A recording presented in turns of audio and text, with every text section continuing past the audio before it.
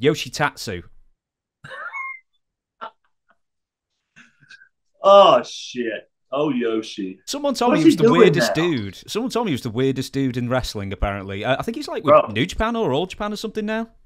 Well, I don't know. I haven't saw Yoshi in forever. But what I do fond like really remember about him, I remember we all were having we all stayed when we lived in Florida to go to FCW. We all stayed in the same apartment complex. Like it was like the FCW spot. Like we all we all got apartments, and it was a shitty place, man. It wasn't nothing great.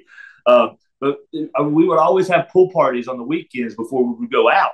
So I remember us having a pool party, with drinking beer. You know, we're having a damn good time, probably smoking weed a little bit. But it was just like we were just having a great time.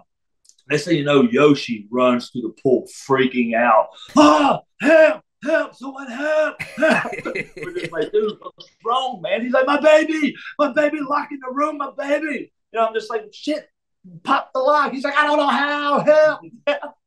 Brother, I, I ran. To, I went to his house, and all I hear is his one baby in the crib crying. But they had like maybe a two year old at the time that locked the door on oh accident. no! You know what I mean? So it was one of those things. Brother, I went in there, I grabbed one of his uh, butter knives. I just popped the door open, you know? Heath, thank you so much, Heath. Thank you, you know? but dude, it was just that honest mistake. Hmm. They, baby shut the door, door, door got locked. He freaked out.